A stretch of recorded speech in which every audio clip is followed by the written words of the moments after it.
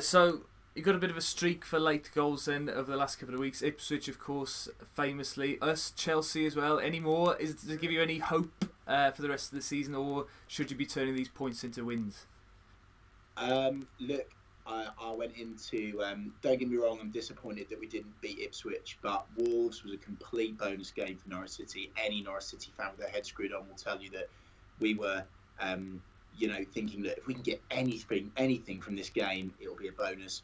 Don't get me wrong, though. Having looked at the statistics from our from our game last night, I thought that that, that Norwich did deserve something out of the, out of the game. Um, don't get me wrong, I, I, don't think on the basis of the defending we deserved all three points. Um, but yeah, from a Norwich City point of view, this season, I'm certainly not disappointed that we're getting draws rather than losses. Mm. Um, I don't think any Norwich fan is, is thinking, oh, you know, we should be winning these games.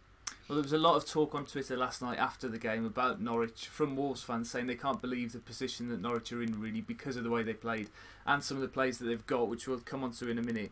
But let's we can't ignore the elephant in the room. John Ruddy, his performance last night is that something that you've become accustomed to as a Norwich fan, or? oh, Tom, uh, look, it, it's uh, it's.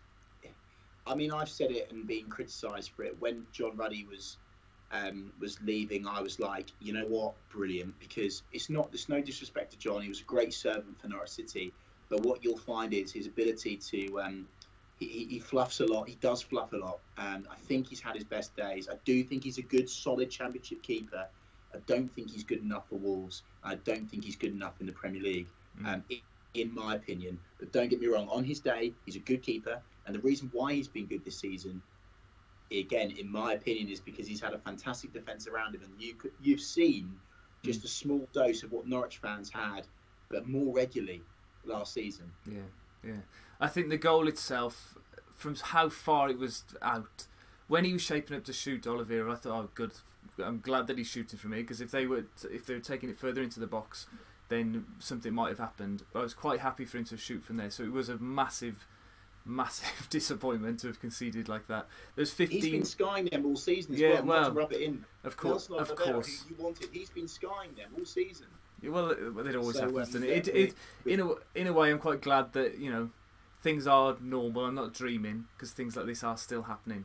Because otherwise, you know, it's been surreal this season so far. Anyway, uh, so set piece defending is another thing that I wanted to touch on. We scored from a corner. You then, e- uh, well, not equalised. You got a goal back from a free kick from that corner position. Zimmerman, his first goal wasn't it for Norwich? Um, yeah. Is that a particular weakness of yours? It has been for us yeah, we, we, we are bad at defending set pieces. To be honest, I, I think uh, you, you, saw it against Ipswich. Uh, I mean, Ipswich are actually the best in, in the league in terms of scoring mm. set pieces, but I think it is a weakness for Norwich. I mean, we uh, we're doing this zonal marking thing, um, and it's it's okay sometimes. And again, uh, one of the things that a lot of Norwich fans will tell you is our team would do better in the Premier League because mm. our team is adapted and is working as um, as a Premier League side, but in the Championship, we, are giving yeah. people far too much time um, on the ball. We're, we're, we're, not defending set pieces properly. Um, so yeah, that is a weakness for Norwich City. Mm. Um, but you know what? I am, I, will say it again. I am genuinely surprised that we got anything from that game. Um, mm. And I, I, would be slightly worried as a Wolves fan now because you've got Fulham, you've got Fulham coming up. You've got Derby that's still knocking on the door. Yeah. Don't get complacent, boys. Don't get complacent. I think as fans, we are the most cautious because every every single fan of other teams that I've spoken to this season have said, "Oh, you know, you're promoted. It's fine. Don't worry about it." True. But we still. We've seen us well, that season that you beat us in the playoffs in 2002. We were 11 points clear with something like six games to go. So we're not taking anything for granted as fans. And hopefully, uh, yesterday we taught the, the players a bit of a uh, so James Maddison, uh, I was watching him very very closely yesterday because of you pointing him out to me beforehand. Very very talented. Didn't seem to have uh, fixed position, more floating in the sort of yeah. attacking yeah. third. Do you think you're going to be able to keep hold of him in the summer?